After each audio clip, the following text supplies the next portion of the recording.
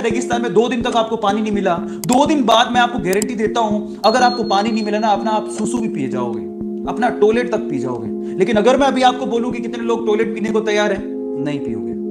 बोलोगे, पागल हूँ क्या मैं? मैं टॉयलेट क्यों पीऊँगा? पानी पीऊँगा ना?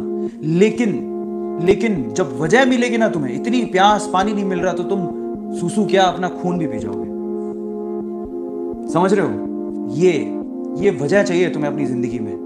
और मैं इसीलिए कह रहा हूँ, जितने भी टॉपर है ना, उनके पास एक वजह है, जिससे उनकी मेंटेलिटी एक ही डायरेक्शन में काम करती है। उनके पास कोई डिस्ट्रैक्शन नहीं होता है।